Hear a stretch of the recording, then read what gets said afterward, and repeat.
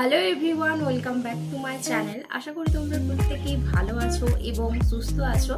আজকে আমি তোমাদের সঙ্গে এমন একটা মাস্ক শেয়ার করব, যাদের সামনে কোনো ওকেশন রয়েছে বিয়ে বাড়ি রয়েছে, কিংবা নিজের বিয়ে রয়েছে, তাদের জন্য এটা একটা বেস্ট গ্লোয়িং ফেস মাস্ক এটা একদম ব্রাইডাল গ্লো দেবে।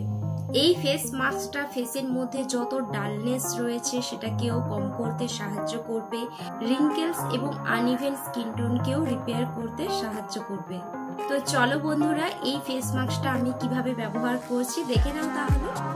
এই মাস্কটা তৈরি করার জন্য লাগবে দু চামচ অ্যালোভেরা জেল, সামান্য পরিমাণে কফি পাউডার একটা ভিটামিনি ক্যাপসুল এটা ভালোভাবে মিক্সড করে নাও। এটা একটা কৌটার মধ্যে তোমরা দু থেকে তিন দিন স্টোর করেও রাখতে পারো। এই জিনিসগুলোর মধ্যে যদি কারও অ্যালার্জি থাকে, তাহলে এই মাস্কটা তোমরা ব্যবহার করো না। এই মাস্কটা ব্যবহার করার আগে ফেসটা ফেস ওয়াশ দিয়ে ভালোভাবে ক্লিন করে নেবে, তারপরেই অ্যাপ্লাই করবে। আমি সবসময় বলে থাকি মাস্ক হোক বা প্যাক হোক, স্কিনের মধ্যে যা কিছু অ্যাপ্লাই করো, তার আগে স্কিনটাকে ভালোভাবে পরিষ্কার করে নেবে, তাহলেই কিন্তু ভালো রেজাল্ট পাবে। তো ফেসটা অবশ্যই ক্লিন করে তারপর তোমরা ফেসে এটা অ্যাপ্লাই করো। আমি ফেসটা ফেস ওয়াশ দিয়ে ক্লিন করে নিয়েছি, এরপর আমি এটা অ্যাপ্লাই করে নেব। মাস্কের মতো। তোমাদের স্কিনে যেখানে যেখানে ট্যানিং থাকবে, সেখানে সেখানে তোমরা এটা অ্যাপ্লাই করে নিতে পারো।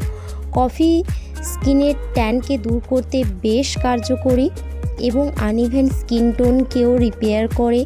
ভিটামিন ই ক্যাপসুল স্কিনের ডার্ক স্পট রিমুভ করে। স্কিনের মধ্যে বয়সের ছাপ বা রিঙ্কেলস আসতে দেয় না।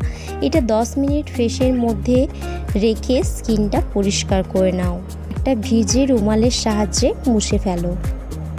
দেখো, একবার ব্যবহারেই স্কিনটা কত গ্লো করছে। এটা যদি তোমরা নিয়মিত ব্যবহার করো, তাহলে দেখবে তোমাদের স্কিনের মধ্যে বয়সের ছাপ সান ট্যান রিঙ্কেলস এগুলো কিন্তু মানে আসবে না এবং যদি পড়ে গেছে, তাহলে সেটাও কিন্তু ধীরে ধীরে চলে যাবে। বেস্ট রেজাল্ট পাওয়ার জন্য অবশ্যই তোমরা সপ্তাহে এটা তিন থেকে চার দিন ব্যবহার করো। এটা একটা দারুণ ফেস মাস্ক তোমরা অবশ্যই এটা ট্রাই করো। বন্ধুরা, তোমাদের এই মাস্কটা কেমন লাগল অবশ্যই জানিও। তোমাদের যদি এই ভিডিওটা ভালো লেগে থাকে, তাহলে অবশ্যই ভিডিওটা লাইক করে দিও।